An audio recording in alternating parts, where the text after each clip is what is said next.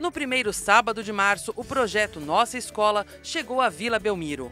Na Escola Municipal Professora Emília Maria Reis, alunos, familiares e pessoas da comunidade puderam participar de aulas de gastronomia e de artesanato em tecido. Para marcar o início do projeto, foi realizada uma apresentação musical. A ex-educadora e cantora Giovanna Razucchi e o violinista Reinaldo Andrade tocaram sucessos da música popular brasileira. Alguns dos espectadores até caíram no samba.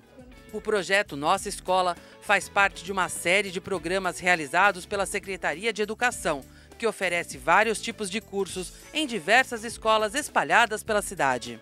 Nossa escola é um programa que faz parte do programa maior, que é a Escola Total. Em outras escolas nós estamos tendo uh, estética, maquiagem, aula de informática.